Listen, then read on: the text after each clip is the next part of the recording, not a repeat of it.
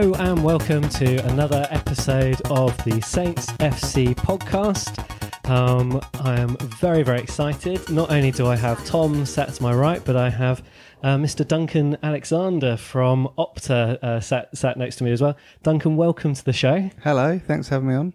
And uh, Tom, yeah, Uh, welcome, Dong. It's good to have uh, it's good to have another another face on the podcast. Yeah. Um, for those of you who like watching our episodes on YouTube, you'll notice we're in slightly different uh, environs.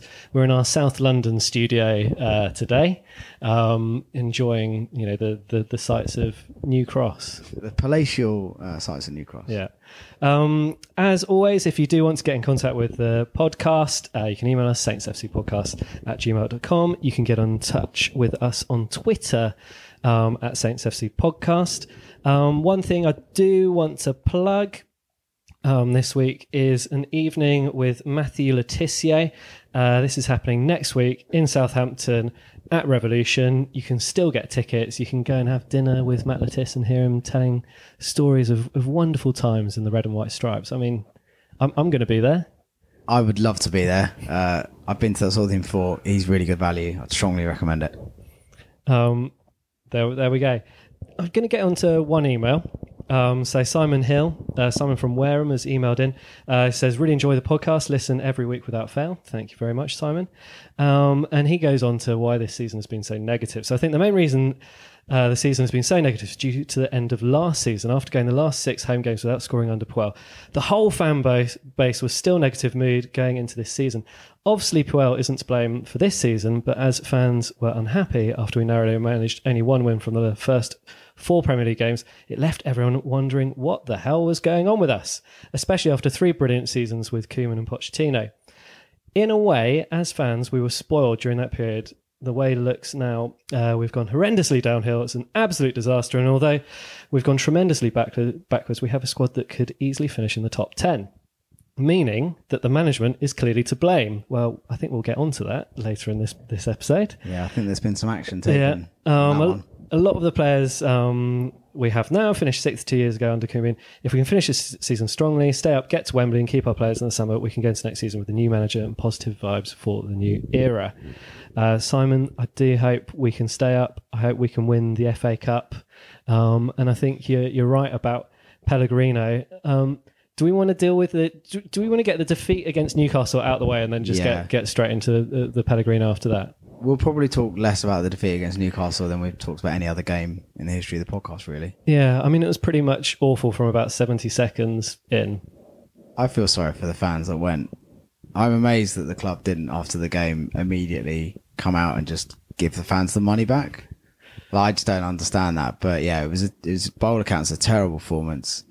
No redeeming qualities whatsoever. Um, and again, you just got a feel for the fans that travelled up on a Saturday to go and watch that. Yeah, and um, Pellegrino came out after the match saying that he basically felt the players had, had given up.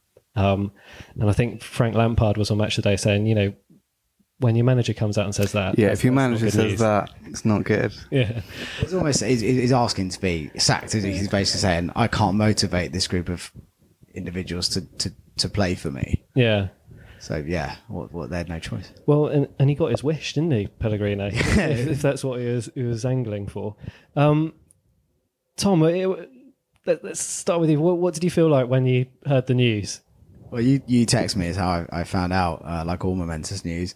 Um, I felt glad in one way, but also I I've I felt why didn't they do this after the Spurs game at Christmas when when what I didn't really understand was that the Newcastle game taught Southampton fans absolutely nothing that we didn't already know. Uh, if you look at everything we did wrong in terms of a, a, toothless attack, uh, we had like 70% of the ball, which we didn't utilize in any way whatsoever. Um, the same rigid formation and, and methodology for playing a game of football.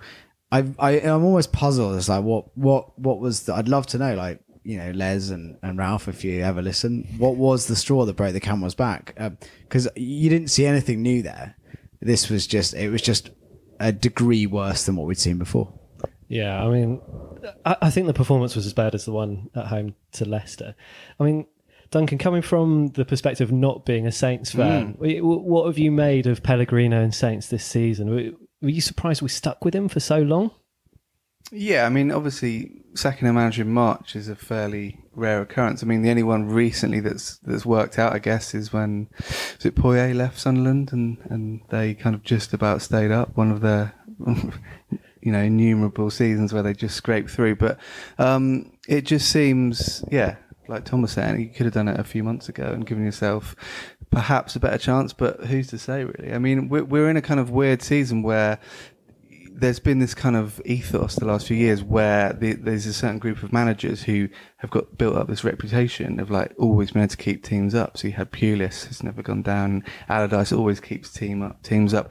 Um, you know, Pardew will go into a club and, and boost everyone, Yeah. and it's it's almost the edifice is crumbling now because Allardyce seems pretty negative at Everton, and they're not too happy, and Pardew is clearly not working out at West Brom. So, you know, it, it could work, it might not, but you probably would have gone, or might have gone down anyway. So, Uh, I think with Pellegrino still at the helm, I just can't see how, how we could have survived. I think know? once the players have given, you know, once we're we're in a kind of era where players can make it quite obvious when they've sort of given up. I mean, we've seen it with Chelsea a couple of times recently, and uh, you know, even Arsenal at, at Brighton the day really looked like they were in that position. So it was bizarre that they then went and won at the San Siro. So um, um, yeah, so but yeah, we'll see what happens. And I think as well with with Saints, uh, uh, what's the worst that can happen? You know, they they twist now, they get someone in, they get relegated. I, I think you know we I think we're odds on to get relegated anyway. So you know why not? uh, We've we've said it so many times. Well, why not go down fighting at least? Yeah, i- i- at least give it a try, I suppose. Um, I, I don't know, Duncan, if you've got any thoughts on this, but one of our um, listeners emails in quite regularly with, with stats around Southampton. He, he likes pointing out the fact that we've had 13 draws, so he thinks maybe we're fine margins away from Yeah. from being successful. Um, I I don't think he was like a huge fan of Pellegrino, but he was able to kind of offer some evidence in his defence. Yeah, I mean, I've got into trouble this week just by stating facts from the league table. I've still been harassed by Arsenal fans, but um, you've actually only lost two games more than Arsenal this season, so it is, you know, it is a lot of draws. Um, and yeah, that is technically fine margin. I think, you know, this season for me as an outsider looking in, it feels like a kind of um, kind of the end result of a few trends that have been building up at Southampton over the last couple of seasons. And, you know, it's not like you've got bad players. It's not like even like you're not creating good chances. It's just for whatever reason, be too rigid or the, or just a lack of form or confidence from the strikers. It's, it's really, you know, impacted. Do you, sorry, just to ask. I mean, obviously you you watch a lot of football and you you know infinitely more than I you know certainly I do. Do you think now that Premier League football the um there are people who are exceptionally so much better than other players. Um, and then everyone else is kind of on a similar level, and it's it's kind of it's such fine margins now that you know that you, you know there are players that stand apart. But uh, sorry, my front door's just gone. But obviously, um, you know, is it is it about the fine margins? I think absolutely we're seeing Sure, yeah, I'll go and get the front door. very aggressive knock, whoever it is. So uh, after that uh, rude uh, interruption, my so- neighbour. Yeah, got a parcel for your neighbours next door. I mean, this this is one of the issues that we've had in the New Cross uh, studio that we haven't had in Hackney so far. oh, we we get the occasional They siren don't in have the, they don't have post North London. do? Um, Tom, do you want to ask your question again to, to I- I was- Duncan? I was on this season. You know, you mentioned about Southampton's squad and, and how we have got a talented squad. But do you, do you feel that now, um, world beaters aside, like De Bruyne, that, that generally the, the standard the, the standard is there's not much in it now between players. No, absolutely. I mean, I think this season more than any other in the Premier League history, we're seeing, you know, there's, there obviously is a massively standout team who are probably going to set a number of new records. Um, and then there's the, the big clubs who've obviously got a lot of resource and, and are going to win most of their games. And then pretty much from sort of Burnley down, it's pretty even, you know. Are Burnley that much better than Southampton or, or better at all? Not really. It's ju- it really is kind of a series of. I mean, every week you look at the fixtures and it's all that's a that's a six pointer. It's just a series of kind of you know pretty even clashes. I, I wonder if we could uh, jump around with kind of the order that I, I said we'd, we'd tackle the questions, Duncan. But um, one of the things which has fascinated me this season has been XG kind of coming into the to the I still don't suppose un- the, the still don't cultural understand it. zeitgeist. But one one of you know mentioning Burnley, is what what made me think of that. And lots of people have been saying, "Oh, the new Southampton manager, we we should go and try and get Sean Dyche." I mean, whether he'd want to come or not, I don't know. But if you look at the XG stats, Burnley are massively, massively outperforming. Their keeper makes more saves Mm. than you'd expect them to, and their strikers finish more of the chances than you'd expect them to. you take De Gea out of it, who's clearly miles better than anyone else. Tom Pope has been the most uh, kind of overperforming goalkeeper in the Premier League. I mean, I think he's actually quite good. I think he's, uh, he probably should be in England's World Cup squad, although I don't think he will be. But I think he, he's earned it. Um, and you're right, Burnley hardly create any chances. Um, and yeah, they keep well, they were particularly in the autumn picking Yeah. up wins. Um, you could replay this season 10, 11 times and Burnley would probably finish 15th, 17th, 14th. So I don't think necessarily Sean Dyche is a massively better manager than some of the other managers in the Premier League, but he has hit on a pretty good system. And they do defend in quite a unique way, Burnley. And, you know, they, um, they allow teams possession outside the box unusually Yeah. um, but they are particularly adept at, at blocking shots. So, you know, it's kind of it, it's one of those things where it, it works for them. It might Dyche should go to another club and it might not work. So that's Yeah. the gamble when clubs change managers, really. Yeah, I, think we've seen that when um, Eddie Howe went to Burnley. You know, Hmm. what, what works brilliantly for him at Bournemouth just didn't work at Burnley, and, and now he's back at Bournemouth. And I think, you know, you look at Bournemouth, and could they have anyone better than Eddie Howe? for- for yeah, the I, actually. I, I think that players and managers have certain places where it works for them and, and other places where it doesn't. You know. I, th- I think Koeman was so well suited to Southampton, and Yeah, you know, well, possibly. yeah, he and, you know, um, and maybe Le Tissier was, was right never to move on because Yeah. maybe he could have moved to I don't know Chelsea or Aston Villa or someone, and in that era, and just faded from view. You know, it's it's rare that a player will do that. Pub, pub, pub quiz answer, couldn't he? Mm. You know, and I think you're right. I think maybe we've spoken a number of times about this. There is a, a, always an urge in football to rush on and do the next thing. And, you know, we've spoken a number of times about the young players that have left Southampton, people like Callum Chambers, that maybe, even like Oxlade Chamberlain, who's, you know, had years in the wasteland, maybe they would have been a bit better by staying just a year or two longer. Um, should we get back back to Pellegrino? Yes. What What do you think is the reason why he didn't work at Southampton? Because I've seen a few people kind of digging up stories from when he was first appointed.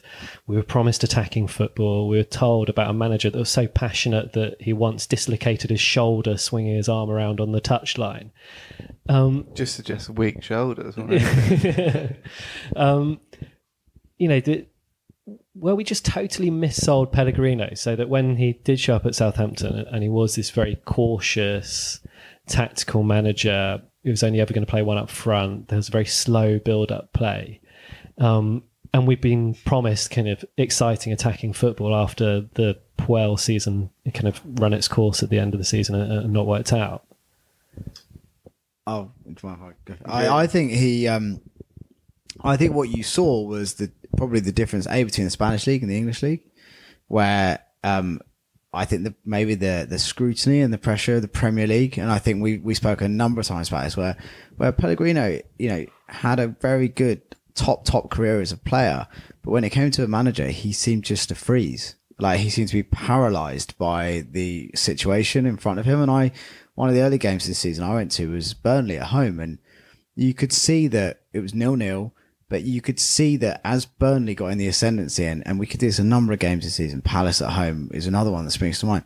He just kind of froze, and he he, he wasn't able to make decisive decisions that change games, and and I wonder if it was the pressure that got to him, the pressure of the Premier League, and you know, and I think we saw with the, I think that people just underestimate the Premier League maybe, and I think with Wolves at home, he, he underestimated it and we lost.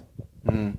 I think the pressure is a really good point to make because you come into you know the self-styled and true richest league in the world, biggest league in the world, and everyone who manages in the Premier League knows that dropping out of the Premier League is not the thing to do. You know, you can rele- get relegated from some leagues and, and bounce back, but it's such a financial issue to go down. So every manager down there knows that staying up is massively, you know, important. Clearly, um, and it, I think it just sort of manifested itself in a lot of cautious play. You know, you look at some of the got some numbers here. I mean, some of the like Manolo Gabbiadini last season was averaging three point six shots per ninety, which isn't amazing, but which is sort of what you'd expect from a forward. This season, it's down to uh, to one point eight. you know, it's basically half. Half, yeah. You know, and his and the XG quality of that has gone down from like 0.16, which is reasonable, to 0.10. So, you know, again, he's not just having fewer shots, but the ones he's having are of a lot less quality, which would imply that you know the positions he's getting in or the positions that he's been played into are much worse. And and it's that kind of negativity that I think every Southampton fan's probably noticed, and you know, it's manifested in the numbers. Yeah, I, I think kind of Puel, he, even he was quite negative, but you look at last season and, you know, we scored two, three legitimate goals against Man United in the EFL Cup final. Obviously, one of them disallowed. We put four past Watford. Um, we beat Sunderland. Was it 4 0? Yeah, 4 0 4 at their place, yeah. Um, you know, all of that happened in a short period of time. and But the players knew how to attack quickly and link up. And, and even though maybe Puel was more defensive minded than most Saints fans have wanted, the attack was still able to create chances.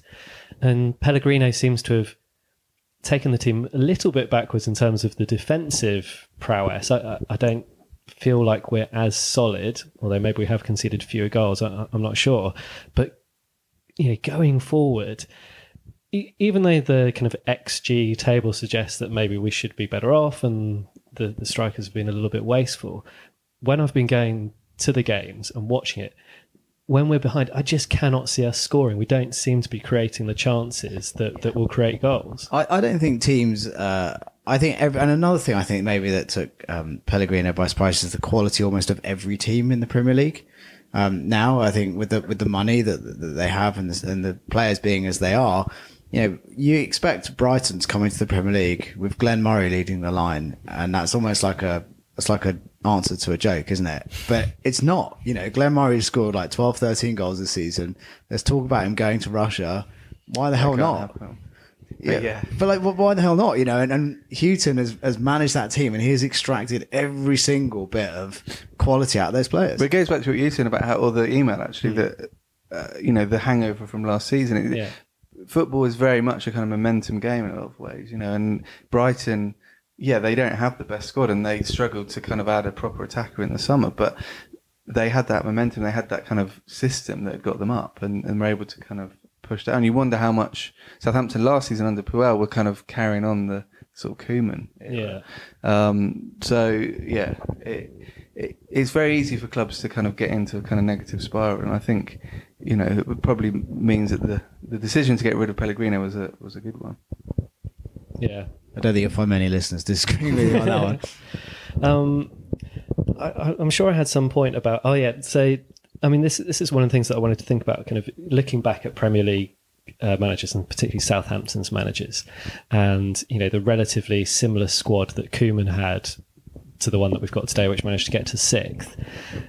Uh, and I think the quality of a manager is when you know when, when you look at the players that we have under Koeman. Yeah, I think Shane Long nearly got. You know, he, he was in double figures. Double figures, yeah. I mean, he was on fire when Yeah. um, Pellè dropped out of the team. He was on fire. Yeah, and and you look at players like that or when they have their best season under a particular manager, you know that that tells you that that manager's doing something good. When a a big group of players have their best season under that manager, I mean that tells you that, that the manager's really special. And I remember kind of uh, Saints leading the line with Lallana, Lambert, um, and Rodriguez, The and the three of yeah. them that's in the run up to the last World Cup, and those three players that that was that was the best they've ever been in, in terms of what I've seen. Um, and you look at Gordon Strachan's Southampton side, and he got you know incredible amount out of players that just were were nothing really anywhere else. You know, Yeah. I mean, like players like Brett, uh, like we who we love Brett Ormerod, and he was great on the podcast. But you know, they he brought them up to another level. yeah.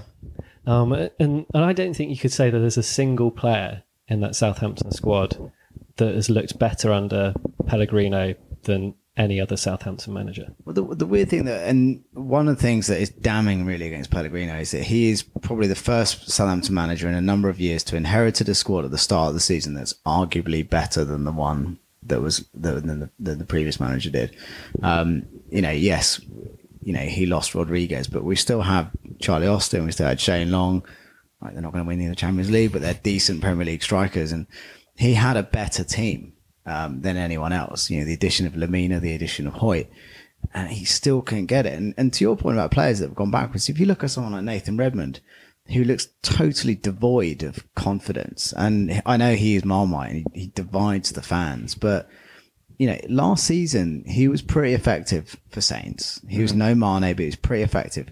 This season, like he's looked a ghost of his former mm. self, and he looks. I mean, I, you know, games I've been at, he looked like he would rather be anywhere than on a football pitch. Yeah, and I think this is having you know been on the periphery of, of club stuff where you know they kind of apply data to things. I mean, I think I'm always really wary now of criticizing players for form or, or for bad performances because often they are sticking precisely to the scripts that they've been told to.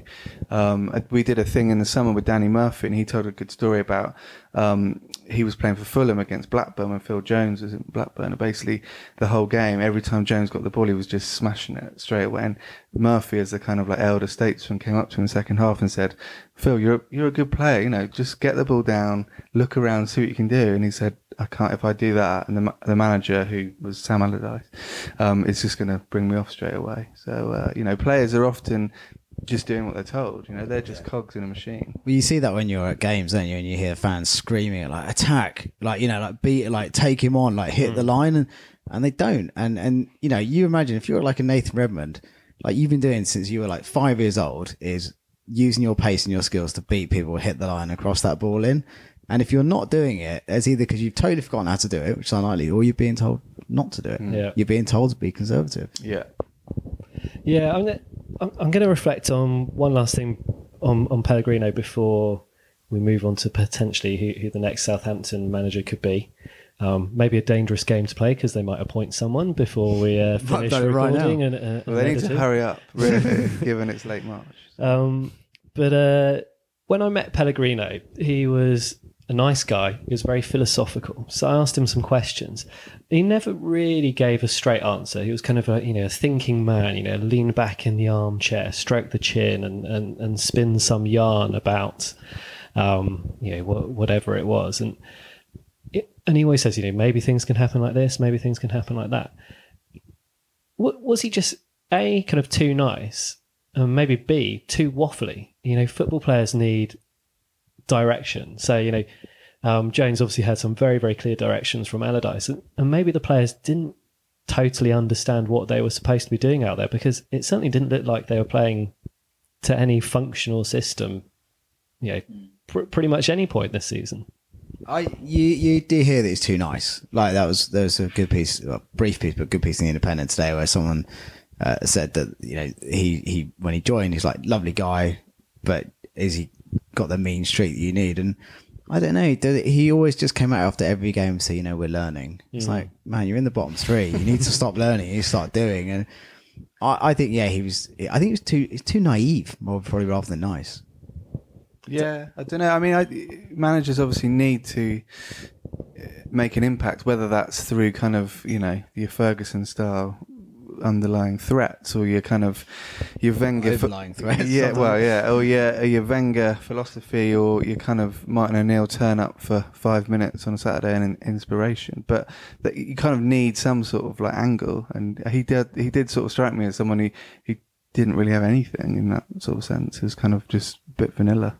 Yeah. The the only times he really did well were in a couple of the games against some of the bigger clubs. So we got that draw at Old Trafford. We didn't play too badly against Man United at home.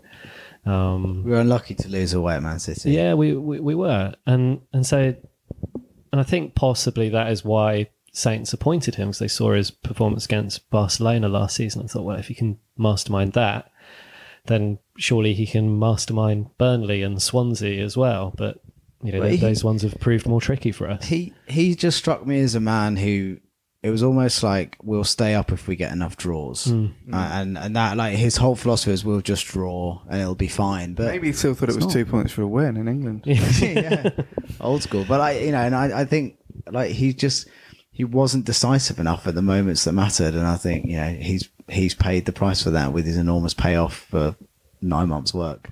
Um, so let's move on from Pellegrino. He's gone.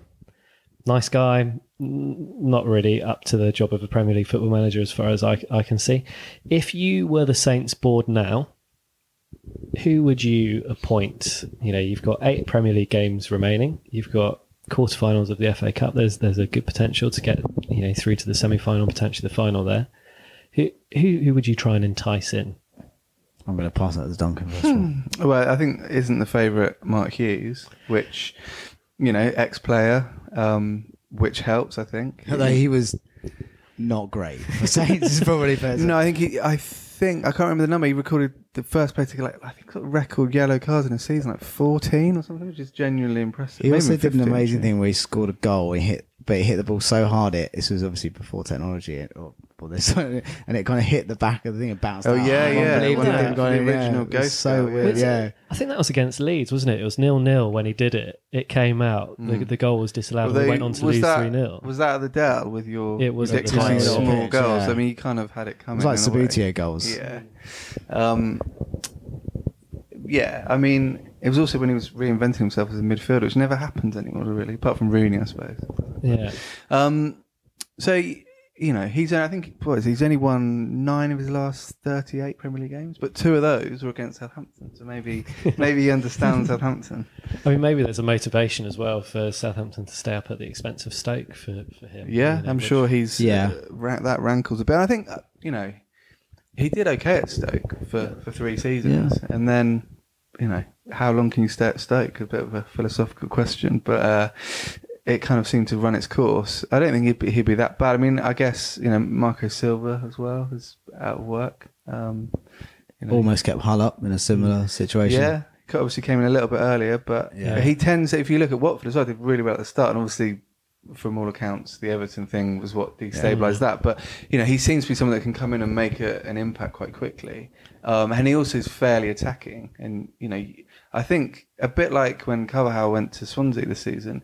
The squad's all right. You just need someone to come in with a philosophy and going, do you know what? You've been too defensive.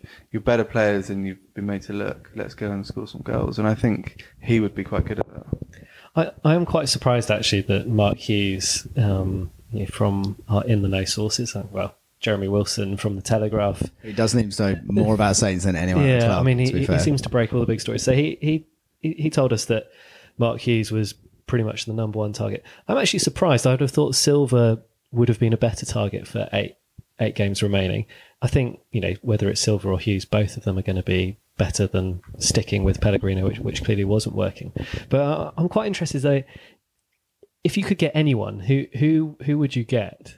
You know, make make, make it slightly realistic. But like, Yeah. if if you were the board drawing up that that short list, who who would be the top of it for you? Uh, I, I wouldn't go Silva because I think Silva will just leave Saints as soon as someone Mm. flutters their eye- eyelash at him, and you'll just be Watford Mark Two. I don't think that would necessarily be a problem this season, though. If he could just No, keep no, us but I up, think, but I think we, I, I agree. Like we need to stay up, like Yeah. first and foremost, and then we'll we'll look at you know we'll fight the next fight. But I think realistically, it's going to be one of Silva or Hughes. Everything you've read today in the press from like Benali and people coming out, it's Hughes. I'd be amazed if it's anyone but Hughes. I don't think it's the worst appointment. I think we have to think long term though, and I, I don't know if Hughes has the uh, the reputation to take us to the level where certainly Saints fans think they should be at, whether whether the club thinks they should be at. Um, there was talk about us getting Tuchel from uh, Dortmund. I think uh, you know you you're a big fan of Bielsa. Maybe they're just pipe dreams. I don't know, but who Bielsa's, knows? a, you know, I mean, he's kind of the kind of pipe dream for so many people, for so many clubs, and often what happens is he comes into a club and everyone's very excited, and then it all goes wrong. Yeah. But theoretically, he is a great choice. Um, but yeah, So my, my rationale behind Bielsa is, you know, the the influence he's had on Pochettino, the influence he's had on Guardiola. You know, you, you can't ignore that. But looking at the formation that he likes to play, um, it is very very attacking. It's very very fast paced, and it does involve pressing. And if you look at the two successful managers we've had recently, Pochettino and Koeman, have elements of Bielsa's philosophy. So I think the squad would be able to pick up what he'd want to do quite quickly. Although I, I do think he'd maybe be a risk coming in eight games at the end of the season. I think he'd almost be better off. being yeah, a, he's a, summer, appointment, yeah. manager, definitely. Yeah, Yeah, I. Who, uh, who knows? I mean, I think we're well. We think they'll probably end up with Hughes. I don't think it's the worst appointment. I think he'll. I think he'll grab some people and shake them about a bit, and maybe it's just what Saints need. I think one of the things we've spoken about a number of times, and it's not particularly original thought, is just we were sleepwalking towards relegation, almost like it wasn't going to happen to us. And you heard noises from players like Ward Prowse saying, "Well, we're going to be okay." It's like it's Yeah, not. We, haven't seen any evidence. yeah, like of that. why? What's that based upon? Is that that's based on their belief as professionals that they're better than the next bunch. Well, got news for you. You know, stats. Three teams go down. Yeah, three teams go down, and the stats say that you're probably going to be amongst them. So Yeah. I don't know. Yeah. Um, anyway, let, let us know who you would have as your, your Saints manager or what you think of the new guy once he's appointed, you know, b- between us finishing recording this and putting it out. Um, email us saintsfcpodcast at gmail.com or get in contact at saintsfcpodcast on Twitter. Um, Duncan, we're very, very privileged to have you here today. So I- I think we need to move on to stats, which is your, your field of expertise. Um, This is really good because we just kind of guess at stuff. So this is actually a real someone who knows about Yeah. things. Maybe I do as well. I don't. Um, for those of you who are watching on the Ugly Inside on YouTube, I'm holding up a copy of Duncan Alexander's book here. Um, this is called Outside the Box. It came out was it before Christmas Uh, last year? Yeah, sort of autumn last year. yeah. Um, I I planned on finishing it uh, last night, but then obviously we sat at Pellegrino, so I, I've still got about a quarter of the way to go. But absolutely thoroughly enjoying it. Um, Duncan, you, let- let's do a really annoying interview question. Tell us a little bit about yourself? And uh, you know, I, I'm interested to find out how did you end up becoming a professional football statistician? Good question. There's not really a defined career path in that thing, I guess. I mean, ultimately, at the start, I kind of leveraged the knowledge I gleaned from when I used to read a lot of football magazines when I was a kid. All the times my mum used to say, stop reading those and do your homework. Like when Saturday comes and Yeah, and, and 90 N- 90 minutes, minutes, and shoot and stuff. And, you know, it, ultimately that knowledge kind of got me into the industry because I had to sort of show that I knew about football. Um, and then obviously I've hopefully developed from there. But yeah, I've been in, been in the kind of industry for sort of 10, 12 years now. Um, and seeing it grow from a really kind of niche thing. I mean, you know, to worked with Sky with um, all the major papers, but we were fairly kind of under the radar. And then I guess 2009, me and me and a colleague basically had seen Twitter grow um, or emerge, and and realised that we were already producing content that was about 140 characters Yeah. long, and most of it wasn't used. We'd you know we'd send maybe 80 facts to, to clients and they'd use four or five. So all these things, every week stuff would just. And when you say clients, who are there? That'd be newspapers. Yeah, or TV. newspapers, TV, um, yeah, mainly those. Uh, and so thought, well, maybe that would fit. And we had quite a lot of pushback actually at the start from commercial people saying, oh, this is not a good idea, you're giving away free content. But as it turned out, our customers loved it because it, you know, ultimately most people want to do their job in the easiest way possible. And if you can have a kind of, you know, list of stuff that's appearing during the day saying this happened or this player did this, it's easy for them to sort of contact us and go, I quite like that. Can you turn that into a into a list or whatever? And and there's a, a few different facets of Opta, isn't there? So there's like Opta, Opta Joe, Opta Pro. You know, what- As long as it rhymes. Yeah. Yeah. Uh, up to snow. That's our weather account. Um, yeah. No. So Opta Joe was our was our Twitter. That kind of like that turned us from a kind of minor thing to a fairly well known brand. yeah. Uh, and then I think 2011 we launched Opta Pro, which was we'd been working with clubs beforehand, but obviously we were quite unique in the sense that we were a media facing thing, but we worked with football clubs, Mm. and they were obviously for understandable reasons a little bit reticent for us to. Um, you know, be in the same. You know, if, if we were on the, if we were dealing with a football club who were looking at players, and we were on the on the phone to a tabloid, you know, there's potential for possible, you know, Yeah. Chinese walls. Exactly. So so we kind of separated them out, although there is a fair amount of you know, interaction. But uh, yeah, Opta Pro is our kind of club facing thing. Yeah. it- You, do hear a lot about how football manager, like and championship manager researchers end up supplying lots and lots of stats to clubs. But but do you guys? That- do you- yeah, that's a bit of a misnomer, really. Yeah. I mean, I think that whole thing stemmed from um, they used. I mean, what Football Manager has very good is like a, you know players' names and dates Yeah. of birth and stuff, which I think has been used by clubs as a kind of database essentially. But I'm pretty sure no club's ever signed a player on the fact that he's got aggression 17. Tommy Svindal Larsen is the classic champ, uh, championship manager player that was nothing. Best player in the world, according to those guys. yeah. Oh yeah, there's been quite a few of that.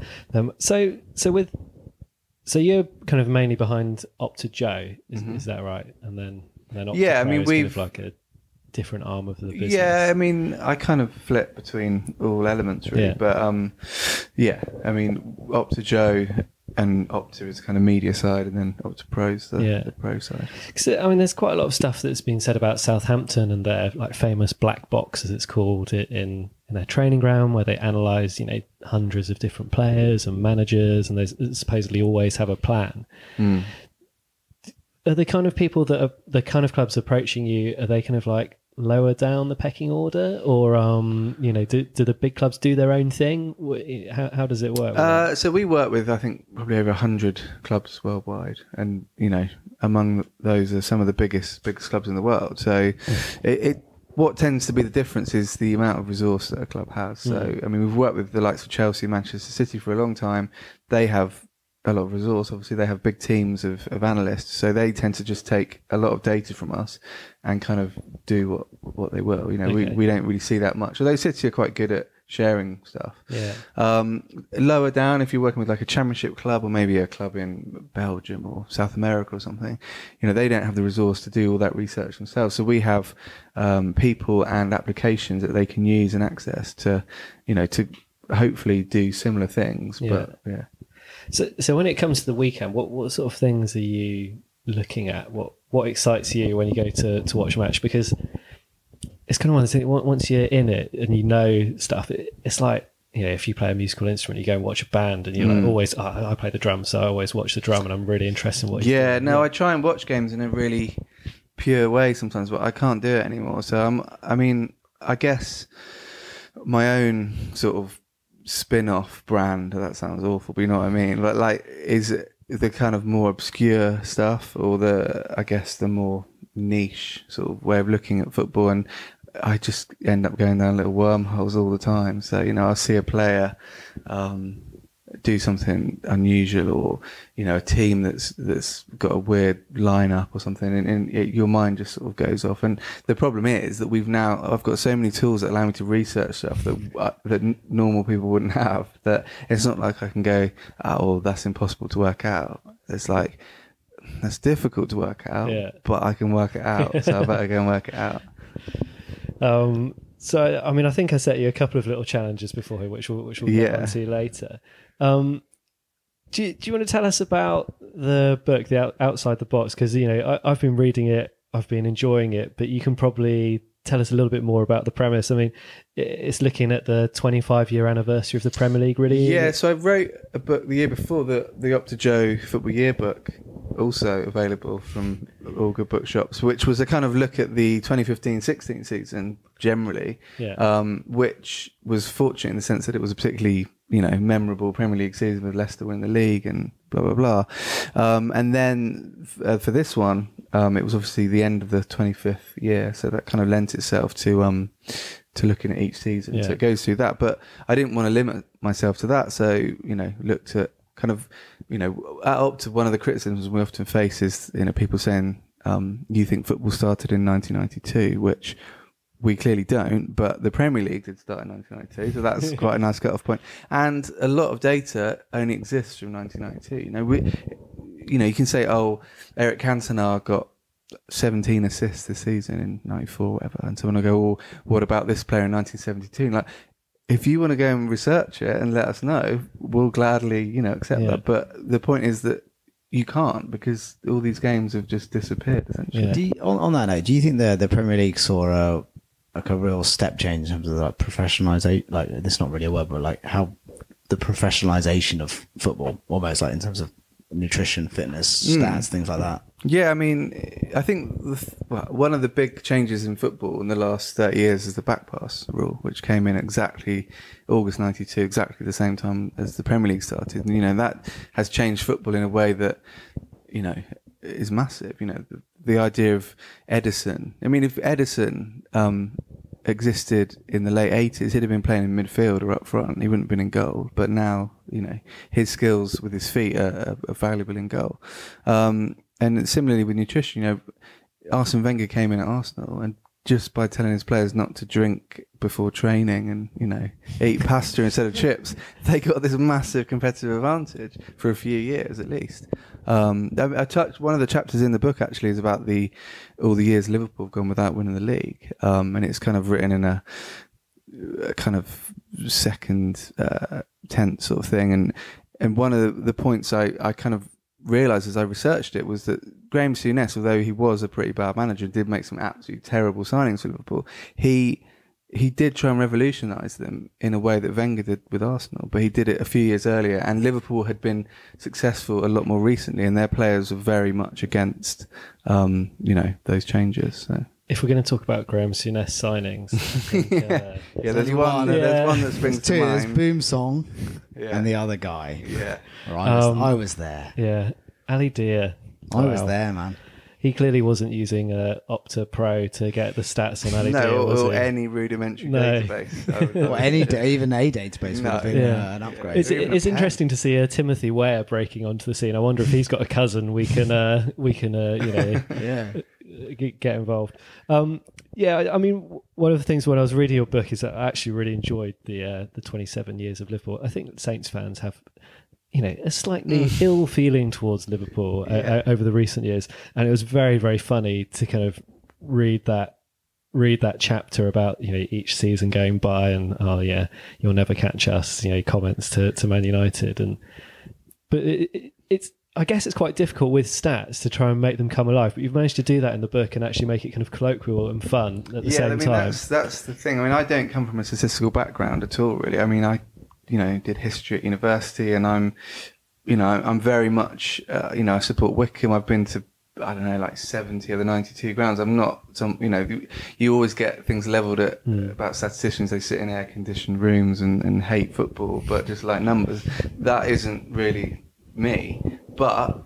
I do enjoy kind of the debunking and the and the you know shattering of myths and that stuff. But I think you, you can't just be that guy that's like actually that's not true or this. You know, you kind of have to make it entertaining and a, and a bit fun. And I think that's that's been the kind of success of Opta Joe's that we don't. It's not taken too seriously. You know? Yeah. It's not like we know everything and you don't. It's like you know, here's some information. You might like this, you might not, but it's there if you want it. Yeah, and there's quite a few mentions of um, Saints players in in the kind of uh, first chapter of quite. Uh, it's, it's almost like bizarre stats or kind of forgotten heroes of the Premier League, or, or people who've achieved something statistically that, that's quite bizarre. Um, and uh, you know, there's one of the ones like Franny Benali. I think you have statistical evidence that he is a lunatic. yeah. So basically, someone asked me on Twitter a couple of years ago if there were more red cards when there was a full moon, and I had an evening spare, and so I thought, yeah, why not? I'll research this, and that involved me typing every full moon date from 1992 onwards, which takes quite a long time. Halfway through, I was like, why am I doing that? um, anyway, did it, and luckily, it did show that there are more red cards when there's a full moon, and the first Premier League player to ever get sent off when there was a full moon was Franny Benali. That's great. We should ask him about that. Franny Benali. He looks like he might be affected by the moon. don't know. Well, he, he looks like that in the way that he looks like he doesn't age. Mm. He's got some sort of mystical lunar power going on somewhere. Yeah. I saw him headbutt Eric Cantona. That was good. Yeah. um, and then you had quite a nice uh, stat, stat about Radi Jaidi as well, who's the um, under 23 coach for Southampton. He, he played for Saints and a few other Premier League sides. But, you know, you, you wouldn't, like, I guess the kind of highlight from your stat about him is almost he'd be the best player to ever go and watch because you're guaranteed something. And uh, Yeah, I think you he's wouldn't got, the, he's got expect the. it. I don't think I know. He's got the most appearances in the Premier League without a nil-nil. I can't actually remember the number, but it's fairly high. Um, so yeah. That doesn't reflect too well on his actual job. Which No, he's a defender. yeah. he's defender. Yeah. So, but um, yeah, I mean, I love all that stuff. You know, it, there's a bit in the book about. Um, I, I thought, well, who's the player who's been born the furthest away from the Premier League to play in the Premier League? And I looked up, you know, what's the city furthest away from England, and it's uh, I don't even know how to pronounce it. It's Dunedin or Dunedin in, in New Zealand. Um, and there's one player from there who's playing in the Premier League, uh, which is Lee Norfolk and he played for Ipswich. So he played all his games. He only ever played in home games. So he played all his games in Suffolk. He's called Lee Norfolk, and he's from the furthest point away from England on the planet, and it's like I just you know I Yeah. like things like that. Um, one of the things which I also kind of uh, thoroughly enjoyed in the book was when you went over kind of the, the history of football stats, and, and you know there were some stats before 1992, and some almost the the way you. Uh, you paint a chap called Charles Reapon, this quite sinister character. Is is almost a is, is he a modern day Allardyce in in his approach? Uh, sorry, a latter day Allardyce in, in his approach to the game, or because Allardyce likes to use stats, but he uses it in a slightly different way. Yeah, I mean, I guess this. I mean, sort of philosophically, stats. It's not like a stats means there's, a, there's an approach. You know, you can use stats to play like Manchester City. You can use them to play like Egil Olsen's Wimbledon. You know, it, there's no kind of definitive thing. I mean, Charles Reep's an interesting character. He he was an RAF commander um, in the war, I think, um, and basically in the 1950s decided that football needed analysing and, and basically started going to games with a pen and paper and noting down, you know, stats. Um, you can't argue with his kind of commitment to it. You know, he was literally there. There was no replays or anything. But what he kind of did was jump to some fairly bad conclusions the data. He, he basically worked out, he basically counted the number of passes before shots, which is fine. Um, but obviously most shots come from a, a few number of passes due to turnovers or a penalty or a corner that comes in. And he basically decided that because of that, that the the few the, the smaller number of shots uh, passes per a shot that was the way to go, um, and that basically influenced English football, probably even to now. Really, we're only Yeah. really kind of getting over that. Is that, is that kind of the long ball? Yeah, so he Viscosity. he then had some acolytes. Um, Stan Cullis at Wolves used it to. It's not. It's not an impossible approach in the sense that you know you had Cambridge, you had Wimbledon that did use long ball football with some success, but at the top level, passing the football, moving the opponents around is more effective than just you know hit and hope. Um, and yeah, basically the FA in the 80s under a guy called Charles Hughes um, adopted it as a kind of ethos. And it, I think it really did. You know, Graham Taylor was the kind of end product, really. And and we saw. I mean, my, one of my long held theories is that England squad in the '94 World Cup would have was good enough to win the win the World Cup. You know, you think about it, Gascoigne in his prime, Ince, you know, Shearer, Fowler, McManaman. It was a good team. Yeah, it's, it's funny with Graham Taylor as well. Is that people Saints fans give Glenn Hoddle a lot of stick for not choosing Matt Le Tissier, but Le Tissier was pretty good in 1994, and I think. Um, What's the name of the guy? Andy Sinton. I mean, he was Yeah, playing in the, in the 1994 Wednesday. squad. You just think like when you had players as talented and as Yeah, brilliant as Matt Le Tissier at your disposal, you know, But I think with Hoddle though, people thought Carlton Palmer as well was Carlton another Palmer player. obviously I think got more caps than May. Yeah, but I loads think, more. I think with uh, I think with Hoddle though, I think because because Saints thought here's a kindred spirit. Here's a man who understands because Hoddle never got the games. You know, never really got the credit he deserved for being the player he was, and he never certainly, you know, he should have been first name on the England team sheet, and as I understand, he wasn't. And I think people probably thought this is a chance. You know, this is his chance to say that England can thrive. Hmm. We're not a team of cloggers. We can have a creative genius. And then he just went, yeah. Do one thing like that. I think that's why Saints fans hate Hoddle. Yeah. It's almost because you you you wanted more from him. Yeah, gone a little bit off uh, off topic here. Um, one of the things which uh, we mentioned earlier about uh, Arsene Wenger kind of bringing the nutrition thing, that giving um, Arsenal a bit of an advantage in the early years of the Premier League. I think kind of Southampton's scouting approach has probably gave them a bit of an advantage when we came up from the Championship and you know in appointing Pochettino, appointing you know, players like Mane, um, you know, Graziano Pellè. You know, we, we brought in some really good players, which have now gone who've now gone on to kind of bigger and better teams. Uh, as much as it pains me to say it, have have Southampton been caught up in terms of that kind of like analysis, that scouting, that you know use of of statistics, or, or, or did we just kind of strike it lucky with with what the data we had? Yeah, I think it's so prevalent now. This like every team does it, Yeah. and it's the competitive advantage of like five years ago has gone in the sense that you know every every team knows that you can probably find good players by expanding your scouting network, Yeah. possibly using data. Um, you know, look at Leicester, look at you know Newcastle when uh, Graham Carr was signing. Hmm. But you know, there, there'll be periods where you kind of strike it lucky. Yeah. But you look at the way Steve Walsh went from Leicester when he was like a, a god amongst scouts to going to Everton, and, and you know their transfer policy has been wayward to say the least. So yeah. you know, it, it's one of those things where stats is kind of an easy thing to point the finger at when it goes wrong.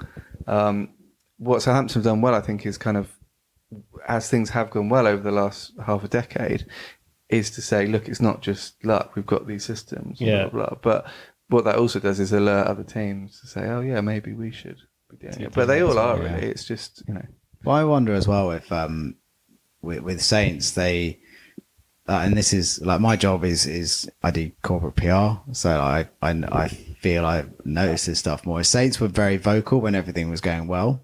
Uh, you know, they were very like, let's invite people to Marchwood. Let's talk about all the cool stuff we have and how clever we are and how switched on and how we're two or three steps ahead of everyone else. And then as soon as it started to go a bit wrong, like they just turned that tap off. And I, I you do start to wonder then, well, how much of it was a bit of luck and how much was, you know, a philosophy, which was let's buy players cheap. Let's hope they go, let's hope they do brilliantly, which a number of them did, like Van Dijk and Mane. And then, but sooner or later, you, you know, you burn through maybe mm. that, that sort of tier of player. And Yeah. then you end up what we, we've signed players that just aren't, Oh, aren't it- replacements. Football is littered with examples of of clubs kind of hanging on to a brief era. You know, you look at the class of '92, which almost you feel like saying TM after it now because they've, you know, it's like the class of '92. But even I remember going to Upton Park a couple of seasons ago, and like everywhere you turned, it was 1966. Yeah. It was like we won the World Cup. It's like Three all right. West Ham players in here, never, I yeah. know, just, you know, move on. That's gone. But you know, clubs, football clubs are very kind of sentimental things at their heart, and it's, you can't blame them for doing it. But it is a bit over the top. Um, so I, wonder when you were researching your book, did you come across any particularly interesting kind of Southampton statistical record holders or? Uh, possibly. Yeah. I mean, I had a look at some of the kind of uh, leaders in uh, for Southampton in Premier Yeah. League history. So I mean, obviously goals. You know, there's no prize for Yeah. that one. But um, and assists as well. Le Tissier's top was 64. But you know, I thought I'd could test you guys a bit on the on the Oh, other. God. So This after bad. Le Tissier, it was 64 assists. Who's the next highest in the Premier League era for Southampton? I go Tadic. I'd go Tadic, yeah. It was correct with 27, which is Who- impressive. And also a much maligned, like he's a classic player that after every Saints game, Saints fans will be like, he does nothing. Yeah. He does nothing, but he actually does set up a lot of Yeah. goals. yeah. All right. Who's got the most yellow cards for Southampton? Ooh. I, I'd be, I'd have to go Benali. Do you think? Yeah, I, mean, I, I might go. Um, I'll go the other side. I'll go Jason Dodd. They are the two obvious ones. It's actually Le Tissier as well. Is it? 49. Wow, What, what, a, what a hatchet, man. No, that's why I wasn't picked for England. He was too violent. It's a bit like my one of my favourite stats is um, the player who committed the most fouls at the 1970 World Cup was Pele. no way. That is good. Mind you, I mean the best strikers are pretty dirty. Well, look I at mean, Morata this season. yeah. Well, who you spoke, I can't remember whose defender it was. Someone was interviewed and they said, who's the nastiest player? I've said again, they said Ricky Lambert. Ricky Lambert, like, punched, like, would just punch and elbow you and stamp, like, all the time. Yeah. Just, I, I can't. It was someone like Kompany, someone who, like, really, really good. Yeah. Who's the worst player? Like, Ricky Lambert just would beat you up. Yeah, anyone that's come through sort of the lower leagues. Yeah. Yeah. I mean, Alan Shearer was always good for a you know good bit of fouling, and, and I just remember you know Ruud van Nistelrooy. As soon as the cameras were off him or the play was away from him, he was always bullying the central Proper defenders. Always, snide yeah, sort of, yeah. elbows and Yeah. Stamps and all stamps sorts. and niggly things. Yeah. Yeah. Okay. Last two in this context. Best win percentage. You can have two here. You can have a player with at least 38 games because you can't. Obviously, some players play one and win one. So at least 38 games, and then at least 80 games. So you're looking for two names. This is good. This is great content. yeah. So Should we have a think about that and then come Yeah. come back Yeah. at the so, end? So we're looking and the at big full reveal? season and then kind of two seasons. Yeah. I mean, I think uh, one player is technically still a Southampton player, and one player has moved on. Okay. So have a think. Technically. I'm going to make a note. Let's just remember to find out the answer of this. Um, And then I guess the other thing Southampton have proved particularly adept at in the Premier League era, mainly thanks to Le Tissier and Lambert, is penalties. Um, Yeah. So of all teams to take uh, at least 50 penalties, you've got by far the best conversion rate. That's Did- great. I- 62 out of 69, which is decent. 62 out of 69. What Yeah. of all Southampton's Premier League penalties? Yeah, I think Four of them probably missed by Tadic. Got to be three missed by Tadic at least. Do, do you have the? I haven't got it on me, but Oh. he was up there. Yeah. Yeah. I mean, the old, I mean, Swansea, I think have scored 20 out of 21, but that's a you know. Yeah. But yeah, Because Matt Le Tissier had one saved. I don't think Crossley Ricky Lambert's saved ever that. had a penalty saved Not even for his time Saints. for Not in the Saints. Premier League. No, Definitely not for not. Saints. Uh, Yeah. Matty had one saved against Crossley and then Yeah. scored a ridiculous goal in the same game, Yeah. like 35 yards Yeah. out turning volley.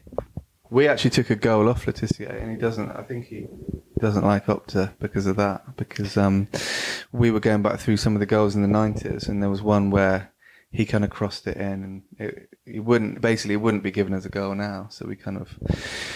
But it, took, it put him down from was- 100, was that the one at Selhurst Park from the corner?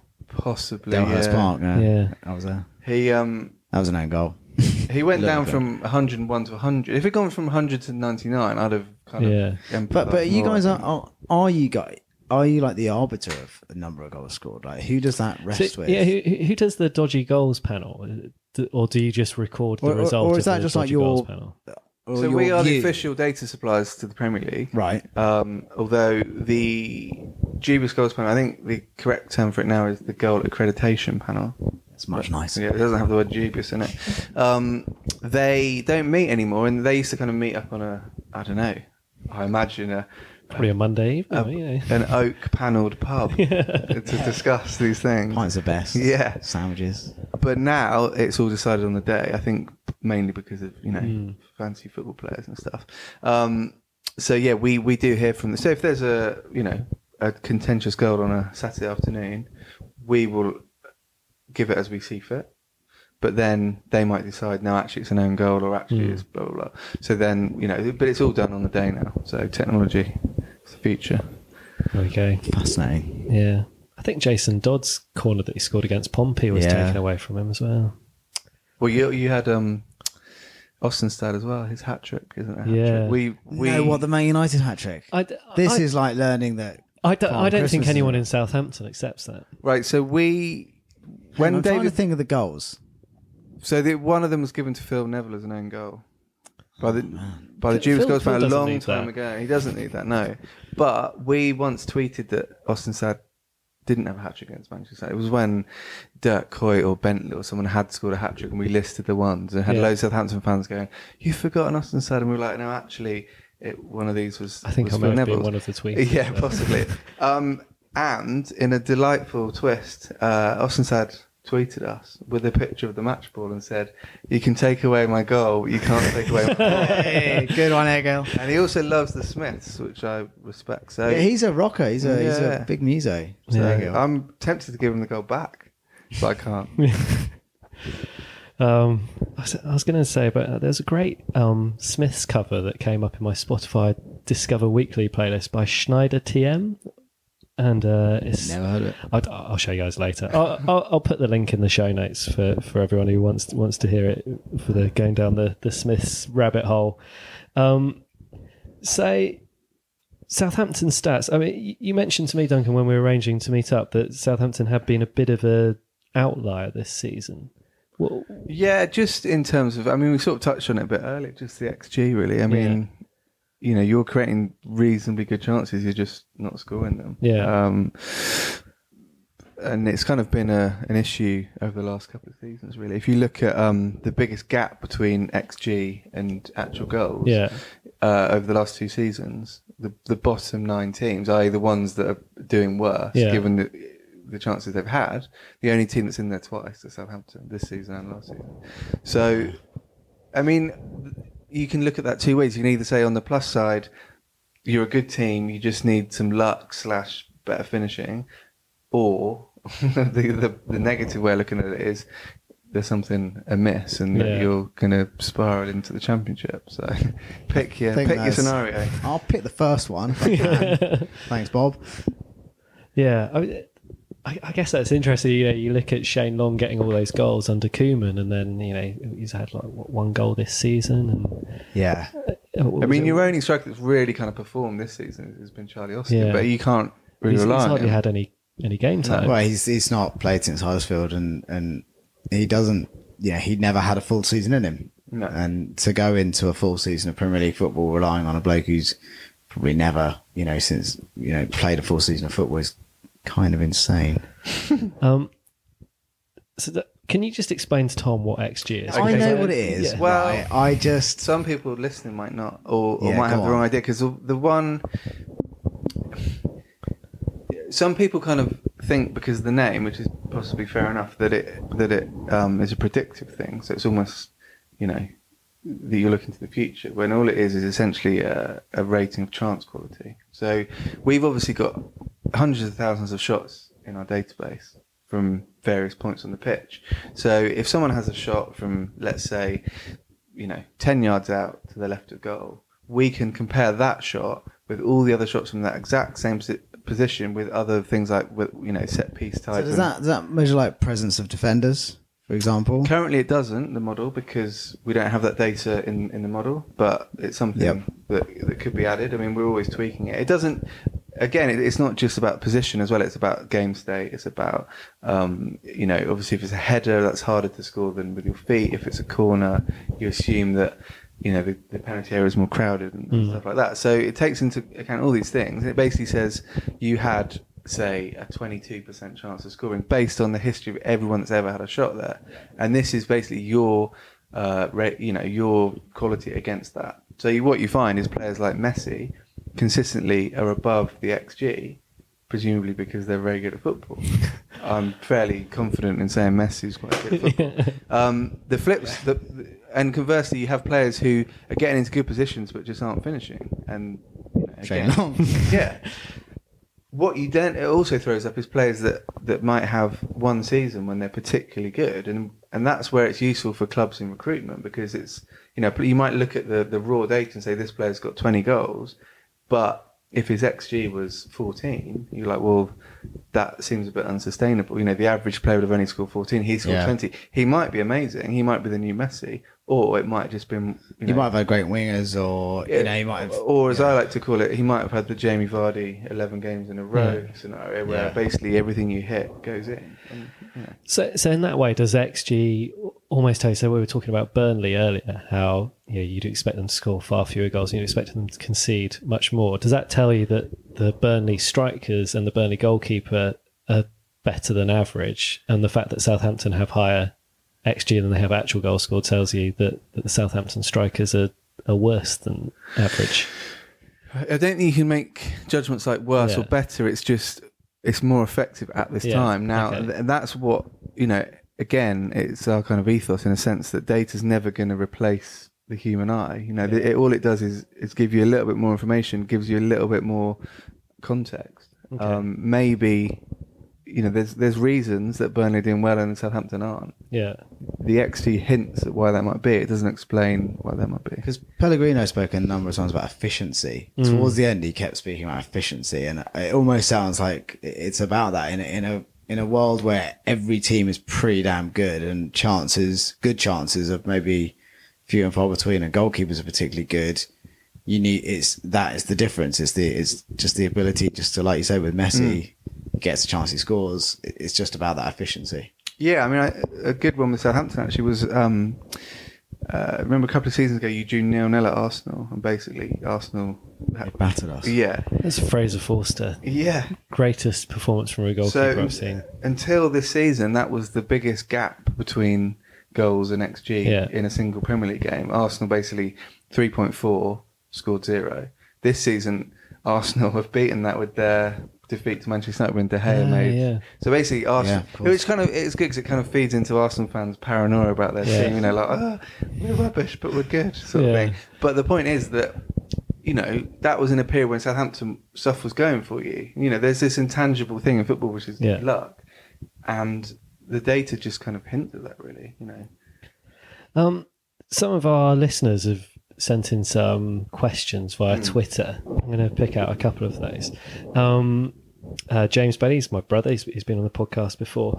He wants to know what stats differentiate the hard workers, um, you know, versus the creative players that you might pick in your fantasy team. So Tadic would be a good example of someone who you pick in your fantasy team because he gets all the assists. Yeah. But maybe someone like Højbjerg or Romeu at Southampton, who's a hard worker, or, or Kante would be a Mm. good example of someone who is amazing on the pitch, but but not great in terms of your, your fantasy football kind of scores. Yeah, I mean, part of me likes fantasy football because it kind of introduced people to things like assists. Mm. You know, it was a kind of, you know, it did make a, a difference in sort of stat acceptance, if you Yeah. like. But but part of the negative of it is it does make people concentrate on very attacking things. Yeah. Um, it is more difficult to highlight those players, but you know, you look at Kante. He had the most uh, interceptions, most tackles at Leicester. Um, I think he repeated it at Chelsea in his Yeah. first season. He had the same when he was in France as well. So Yeah. you can kind of pick those players out. What we're trying to do at the moment is uh, is link events. So we've obviously recorded events. You know, single events, tackles, passes, shots, whatever. Um, we're now linking them into sequences. So that's you know we've got new models essentially. So you can pick out players. They might not have the assist or the goal, but Yeah. they might be involved in every kind of positive. Is that, move. is that like a Dembele type player that, Exactly, like, where yeah. like you know he's not an Eriksen, he's not a Son, he's not a Kane, but like he is. When you watch Spurs, he's like the beating heart of Mm. that team. Yeah, so there's players where you kind of see a team's win percentage with them in and without them, and you can so you see that they make a big effect. But until now, it's been harder to find out. So what what that was. So now, you know, we do we are kind of developing ways to, to pull that out. You know, and it that obviously has a big application in terms of player recruitment as well because that's a more intangible thing to decide on. So- It's like Stephen Davis for Saints, isn't Mm. it? Like Saints fans love Stephen Davis because he doesn't score many goals, he doesn't get loads of assists, but he's just such a tidy, yeah, neat player that kind of seems to bring things together. Yeah, every club's got players who the fans just know that when they're in the team, the team plays better. There, there might not be something they can put their finger on and go, look, he's scored 25 goals, but he's done something. Stephen Davis. Um, so, so another one. What's the difference um, statistically between the way kind of last season Southampton performed versus this season? Is there anything that really stands out? Not, I had a look at this earlier, not massively really. I mean, it's a bit like you were saying earlier, how the end of last season bled into this season. Yeah. And it, I mean, the things that didn't work for you last season Have continued. continued, normal? but Yeah. a little bit worse. So. I mean, are there any? uh, I don't know if you like any Saints players who are noticeably because we like we've rallied against like Forster this season. I mean, Forster this season. I mean, he started to fade a bit last year, but I think uh, conversely to the likes of Tom Pope and De Gea, he's actually letting four more goals than you'd expect than you know the Yeah. average based on XG. So he is in a bit of a, a bit of a slump. Yeah.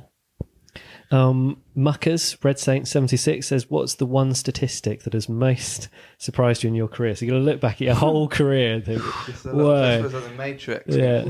I mean, there's quite a few. I mean, one I did the other week, which a few people refused to accept, which I think we mentioned earlier, was basically looked at what are deemed classic lineups Yeah. in the I love League. this. This is brilliant. and I started off with um, the early Manchester United. I think no, actually, the, the stat was that the most used lineup in the Premier League was a Yeah. really early Manchester United team, Yeah. like McClair and Hughes and and uh, Giggs and stuff. But and so a lot of people said, "What what about this team?" Um, and then I started going through some classic lineups, and it was you know the the sort of classic treble winning team for United, which was obviously Schmeichel, Gary Neville, Irwin, Johnsen, Stam, Giggs, um, Beckham, Keane, Scholes, Dwight, uh, Yorke, and Cole only ever started two Premier League games together, and I had Manchester United fans saying that that's that can't be true. I mean, I I remember watching them week in week out, and they were going to games and going they played. Oh no, they didn't. And I went through, and there was the, the classic Arsenal um, Invincibles team, Yeah. two games. It, what I worked out was that basically. A lot of these teams played in really memorable matches. Yeah. It's almost like that sears into the memory of fans, and they kind of then think back to that general era and go, "Yeah, they were playing every week," but it really isn't. I guess every, like every Arsenal fan thinks it was Petit and Vieira, but someone like Laurent. Well, you know, Yeah, players like that. that you'd have really Parlour come in, yeah, or you'd have yeah, exactly, yeah. So Um, I've got one listener who always tweets in ridiculous uh, questions for when we're interviewing ex players, and um, this uh, really has nothing to do with football, but it's maybe statistical based. I, I don't know if you just want to make up an answer to this one, but um, Saint Bannerman uh, wants to know: um, Are there more humans in the world or more road cones? Good question. I'm particularly enamoured with uh, the short-lived John Major venture, the Cones Hotline in the early '90s. So uh, That was that's a throwback there. I remember yeah, Please yeah. I mean, it, me. it sort of summed up the world in the '90s, where all people were concerned about was the number of cones on motorways. So they If had you to had set a up a line. yeah, if you had a problem with either the number of road cones or you thought there weren't enough, there was a number you could phone and they would put more road cones or take some away if you felt there Yeah. were too many. Yeah. Wow. Um, I'm gonna. Do you think Saint Bannerman was on John Major's uh, team that that came up Possibly, with this be, but he's idea? a- could be John Major. He's a Yeah. disillusioned civil servant who's sickened at the, at the decline of the council. I mean, I'm going to say uh, human, surely. There's got to be, hasn't there? What's Yeah. like 7.6 billion humans on the planet? I hope so. Yeah. Um, can pirates play football? That comes from our friend at the Limehouse podcast. Well, Bristol Rovers can't. So. I used to watch Bristol Rovers a lot. He grew up in Bath. Um, and uh, uh, are you invincible in the football game Championship Manager? And are you good at fantasy football? I mean, those are two of the probably the most obvious Mm, well, I don't really play much you. fantasy football because the last thing I want to do on a Friday night is look at potential lineups and, and stats um, for obvious reasons. Yeah, I, I wasn't that great. No. I was good at sensible soccer. Yeah. I had a 72 game unbeaten run, which I'm hanging on to. it ended, as everything does. That's a, that's a proper blast from the past, isn't it? Sensible soccer. Um, so, should we go back to your questions and the the big reveal? Yeah.